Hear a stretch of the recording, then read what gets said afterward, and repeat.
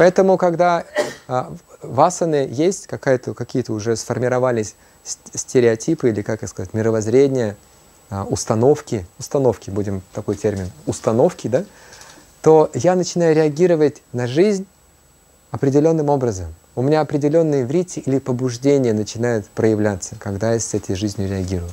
И к чему приводит побуждение? Они приводят к тому, что начинаю как-то действовать. И так что получается? Это заколдованный круг. Я один раз что-то совершил. Это отпечаталось в моем сознании. И это отпечаток в моем сознании заставляет меня определенным образом реагировать на, на, на, на мир, заставляет меня что-то делать. То есть получается, я в заколдованный круг попадаю. Правильно?